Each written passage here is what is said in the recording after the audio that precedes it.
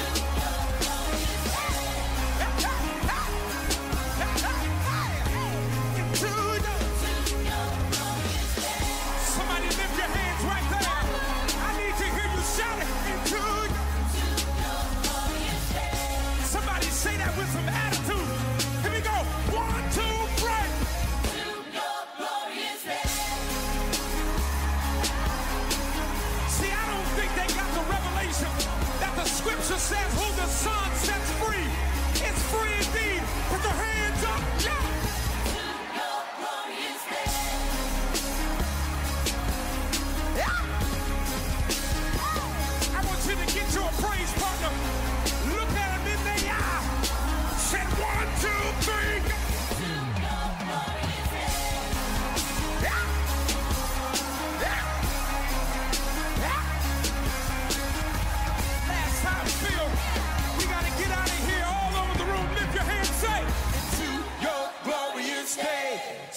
Praise him like it is a glorious day.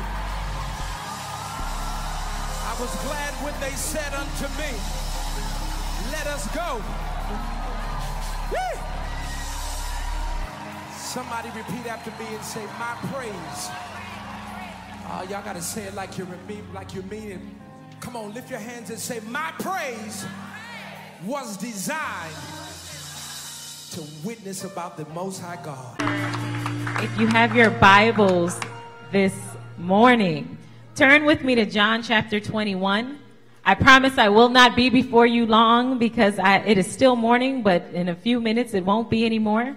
Uh, and I will make sure that you don't get into that late lunch. So please take out your Bibles. We're looking at John chapter 21. My name is Dr. Jackson, and I am the Dean of Campus Ministry. I follow the great footsteps of Reverend Dr. Jeffrey Swain, and I am honored to be here just to share a brief word that the Lord has given me, and I believe is going to bless you. And so I ask you as you grab your Bibles and you have them in your hand, that you stand on your feet as we read the scripture. John chapter 21, verses 15 through 17. And it reads, When they had finished eating, Jesus said to Simon Peter, Simon, son of John, do you love me more than these? Yes, Lord, he said, you know that I love you. Mm. Jesus said, feed my lambs. Mm. Again, Jesus said, Simon, son of John, do you love me? He He answered, Yes, Lord, you know that I love you. Jesus said, Take care of my sheep. The third time he said to him, Simon, son of John, do you love me? Peter was hurt because Jesus asked him the third time, Do you love me? He said, Lord, you know all things. You know that I love you. Jesus said, Feed my sheep. For the next few minutes, we're going to talk about victory over the enemy. God will help you finish your race. You may be seated. In 1992, there was this amazing, uh, this amazing race that took place. And it wasn't just amazing because the Olympic runner ran and won. No, this British runner, he was ready in the, the, the semifinals. And as he prepared himself to run across that, that run that 400 meter dash, he, he knew that he was going to be successful. The race begins and they all begin running. And as they are running, something horrible happens. He pulls a hamstring. I don't know if you ever heard of, of Derek Redmond, but his story is that he pulls that hamstring and, and he didn't want to stop the race. And so he begins to run and he's kind of crippled as he begins to, to, to con- he, as he continues his race. And then as he cripple, as he in his crippled state runs that race, somebody comes out to help him. His father. And I don't want to just tell you, I want to show you what happened. So if you direct your attention to the screen, let's watch, let's watch this race.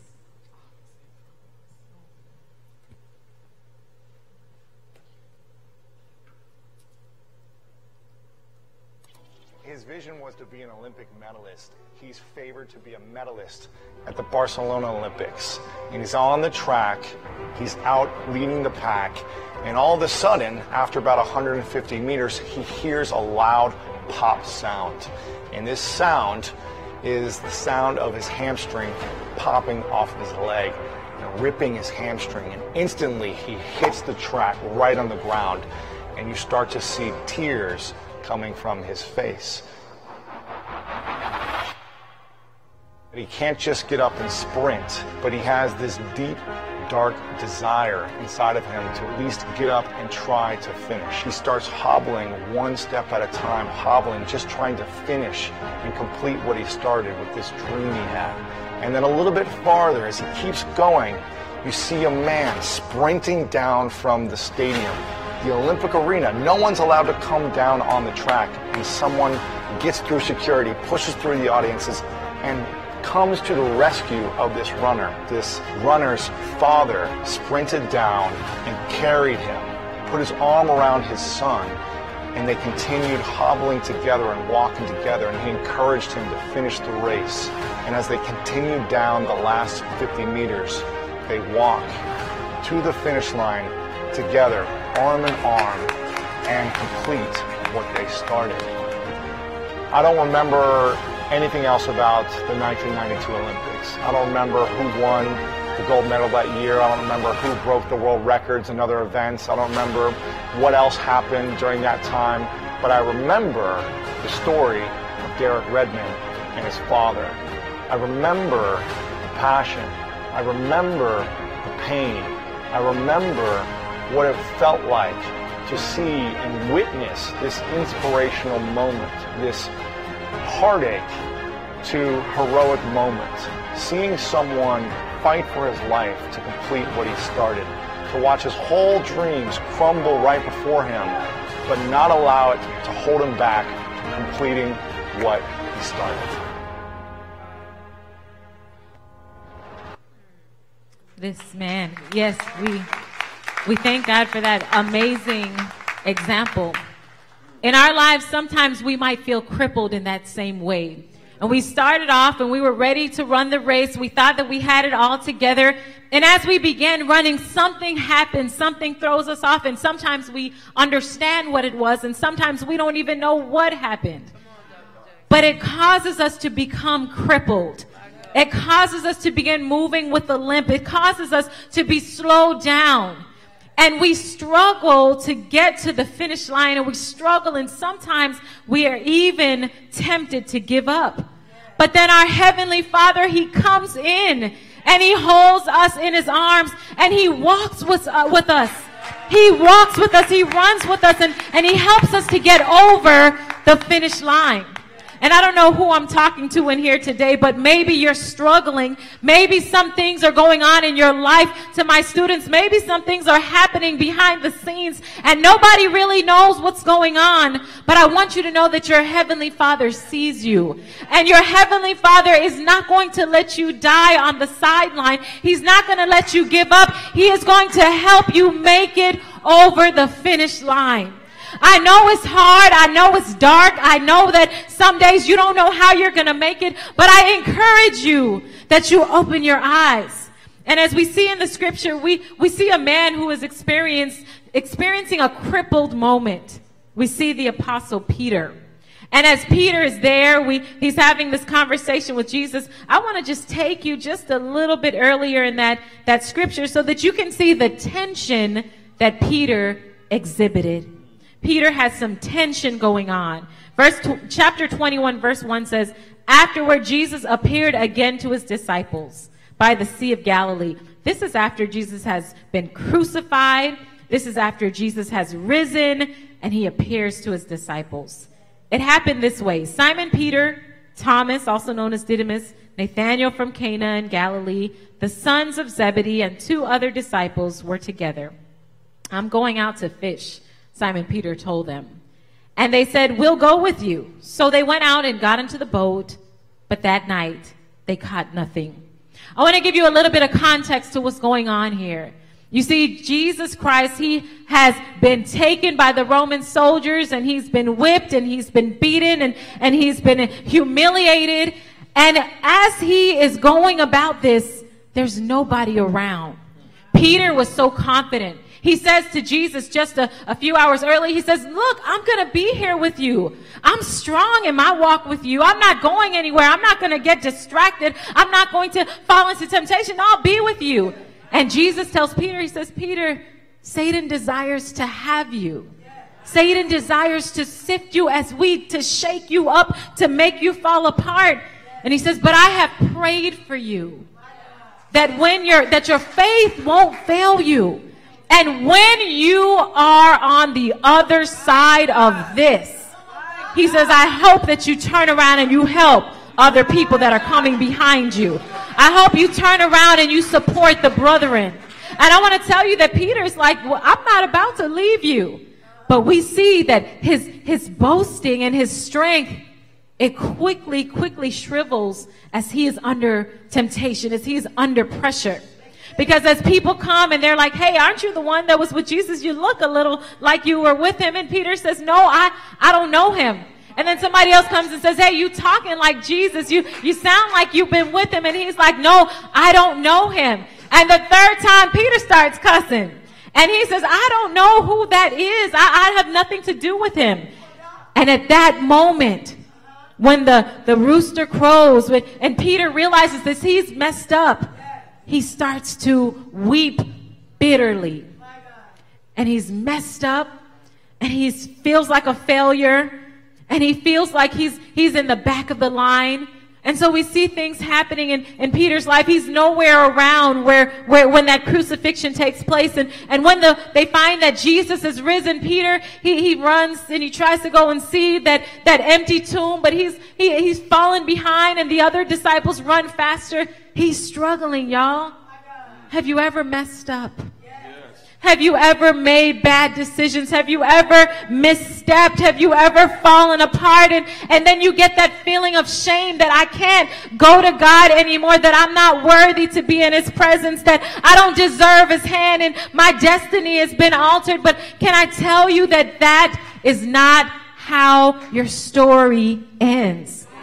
Because what happens with Peter, that's not how your story ends. What happens with Peter is that Peter, in, in, in his, in his depression and in his bad state and his downward spiral, he says, I'm going fishing. And he goes, and this is not a happy fishing trip, and this is not a carefree fishing trip. No, Peter is re- he's going back to what he used to do. He's going back to the man he used to be. He's struggling and he's he's going to something he feels will give him comfort, something familiar, something that he knows something that God called him away from. And he goes out there and he's just fishing. And the Bible says that he, he's stripped and, and he's just stripped because he's fishing. And there's nothing more to that. Um, it's his attire as a, as a fisherman. And as he's fishing, this is not a beautiful picture. This is a, a man in a hard situation, a man in a difficult moment of his life, a man who's struggling with tension. And so we see that Peter, the tension that Peter exhibited. But then we see the thirst that Peter exuded. I told you I was going to be quick. John chapter 21, verse 4 through 9, it says, Early in the morning, Jesus stood on the shore. But the disciples didn't realize that it was Jesus. He called out to them, Friends, haven't you any fish? No, they answered. He said, Throw your net on the right side of the boat, and you will find some. When they did, they were unable to haul the net in because of the large number of fish. Then the disciple, whom Jesus loved, said to Peter, It's the Lord. As soon as Simon Peter heard him say, It is the Lord, he wrapped himself in his outer garment and for he had taken it off to fish, and he jumped in the water. The other disciples followed in the boat, towing the net full of fish, for they were not far from shore about a hundred yards. And when they landed, they saw a fire burning, coals there with fish on it and some bread. And so we see the thirst that Peter exuded. The thirst that Peter exuded. So they're on the boat and they're fishing and they're not having good success.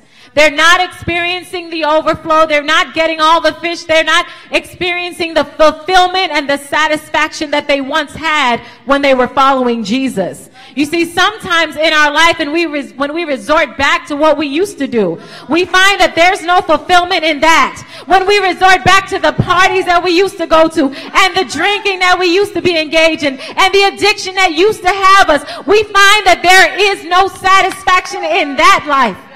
And Peter quickly finds that there's no, there's no success without Jesus.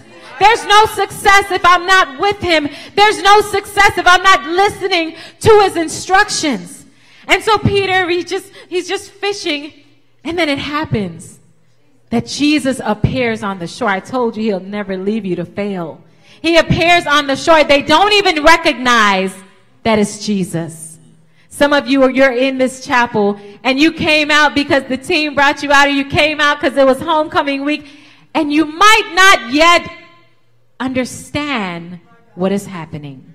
You might not yet hear and recognize the voice of Jesus who is calling out to you. His whisper, he's tugging on your heart. Well, they didn't recognize who it was. And, and when Jesus says, why don't you t- put your net on the other side?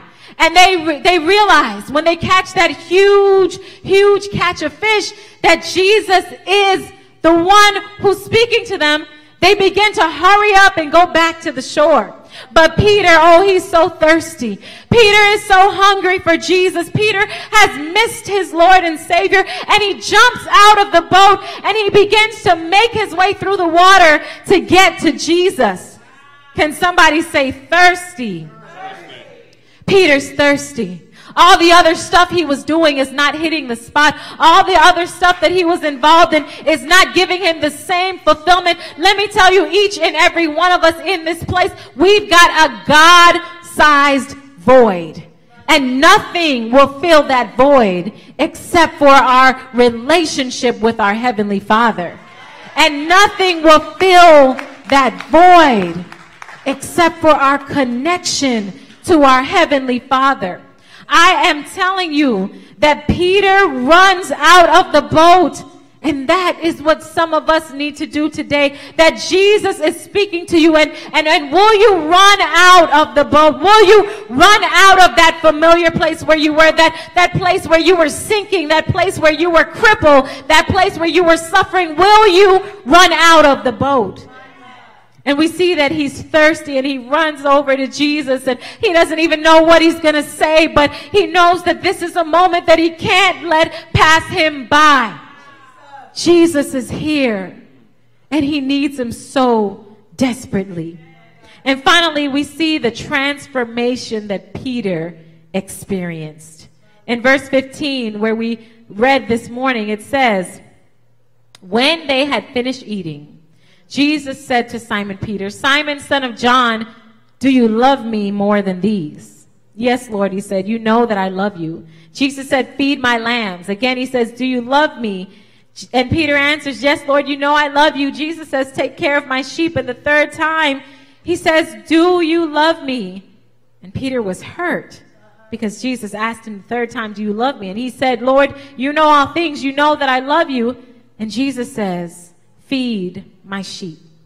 When Peter gets off of the boat and he just follows his instinctive pull toward Jesus, Jesus doesn't say, Now it's time that we talk about what you did.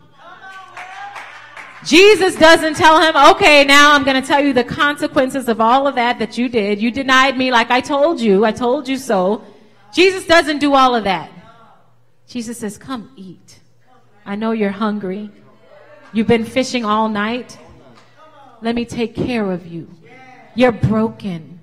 Let me, let me come here and, and, and, and let us talk. Come, come and let us dine. He bids him to come let me get you together. Because the mistakes you're making is something going on on the inside. I want to speak to the brokenness, the pain, and the hurt on the inside.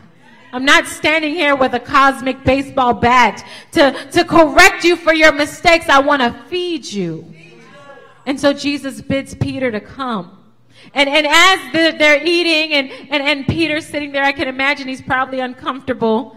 How do I start this conversation off? But Jesus starts it off. He takes the initiative and he says to him, He says, Do you love me more than these?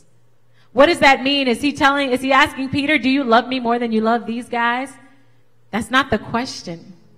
Peter, a few nights before, had declared that I love you, Jesus, more than anybody else. Out of his mouth, he made a public declaration that I love you so much, Jesus, you don't understand. And Jesus is simply asking Peter, Did you mean what you said? Do you really love me more than, than they love me? Do you, are you, are you sticking by that? Do you, do you really, really have a dedication to me? Because what you're doing now doesn't look like it.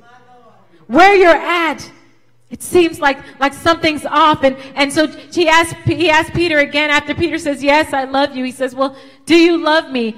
Feed my sheep is what he says. And then he asked him again, do you love me? And Peter says, yes, Lord, you know that I love you. And he says, feed my sheep. Take care of them.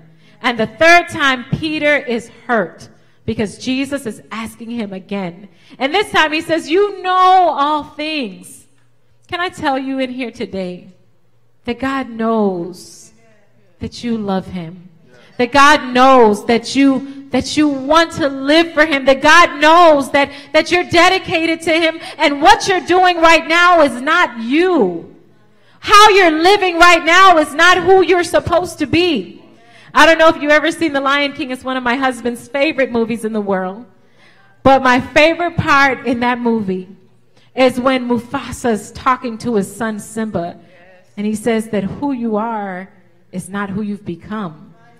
He says, he says, you're becoming something, but it's not who you are.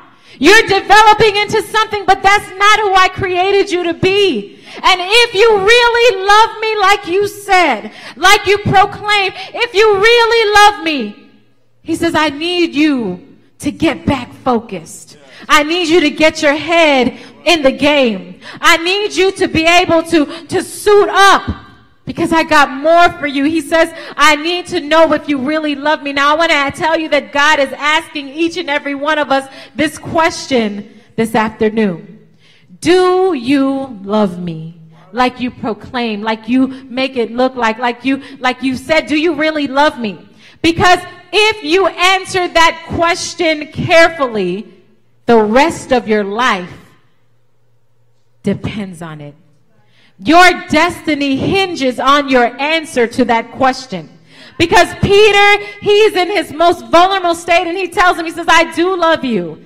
And he's in his vulnerable state when Jesus says, I need you to feed the sheep. I had you catching the fish, but now I'm calling you to feed the sheep. I had you in one place, but look, after the tests and the trials and the temptation, I got something greater for you to do.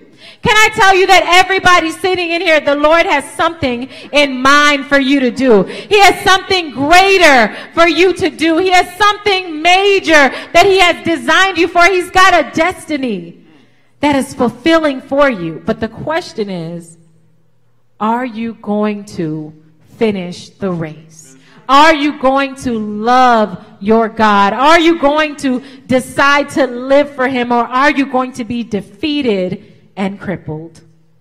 You see, as we saw the young man starting out strong and then getting crippled and, and, and, and hopping along and, and, and needing the support, your heavenly father too comes alongside you. Say, finish the race. And there's other things that try to come. I don't know if you saw that part, but there's other people that try to come and, and I can help you finish the race. And the father says, no, no, no, I, I got, I got him. I got him. I know, I know how to speak his language. I know what to do. I, I know how to have a conversation. And some of you, that's just what you needed is this chapel service this morning. You thought you were coming to homecoming, but God was saying, I need you to come home. I need you to come back to the place that you belong.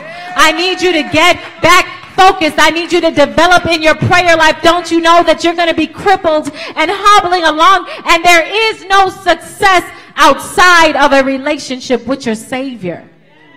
And so I encourage you that you listen to the voice of the Holy Spirit because he whispers.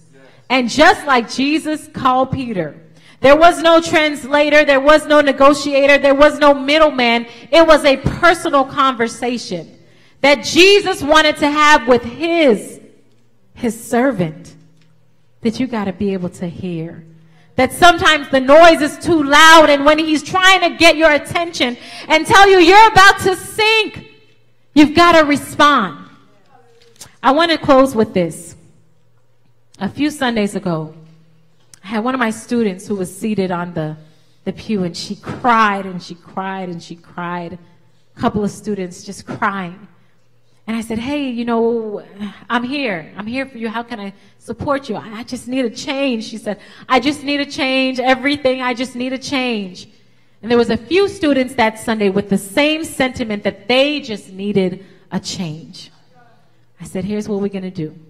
I'm going to pray for you and I'm going to support you. And, and, and I, I want you to, to begin to respond to God for yourself. I want you to begin to make decisions differently. Don't go back to what you used to do. Don't go back to where you used to be.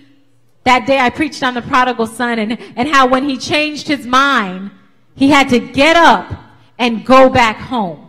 He couldn't just think, I'm going to change my mind. That's a good idea. No, he had to get up and nobody had, nobody came to help him. He had to get up himself. So I told her, I said, you got to do it yourself. You have to be strong enough to get up and turn. This is a personal decision. And when I tell you that that student, if she could get up, she said she had no support system, that she had no family here, that she had no guidance here, but she was able to show up to Bible study that week. When I saw her name on the list, I smiled. I said, God, you're working. And then I saw her show up to another Bible study. And then I saw her sitting down on the sides, just having her personal devotion time. And then I saw her show up to our chapel's house party. And I watched the work of God take place in her life. This is not too hard that it is over your head. You have the Holy Spirit who can help you with the change that you so desperately need to make. Will you respond to the call of Jesus? I invite you to stand all over this chapel.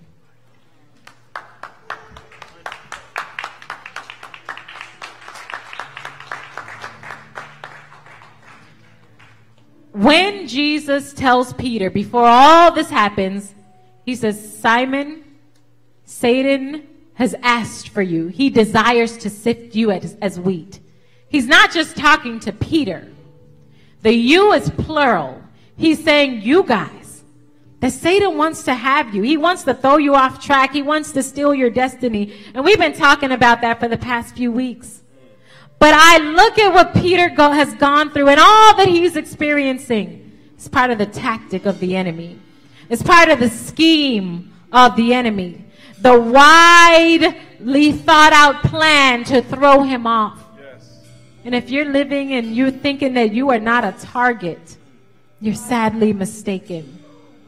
If you're living and you're thinking that you're just falling into these, these temptations and you're falling into these thoughts and, and these idea, ideologies that are not from God, if you think you're not a target, you might be sadly mistaken on that.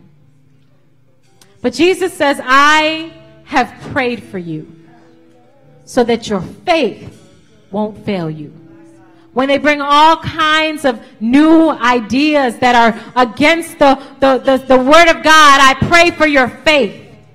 When you are, are, are connecting to the wrong friends and the wrong crowds and they're trying to tell you that there's good life over here, but it only leads to death and destruction, I pray for your faith.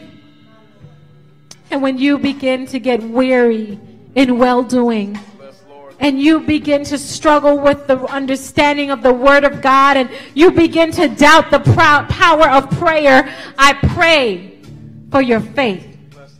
That when you have overcome, when you have overcome, that you will turn around and help somebody else.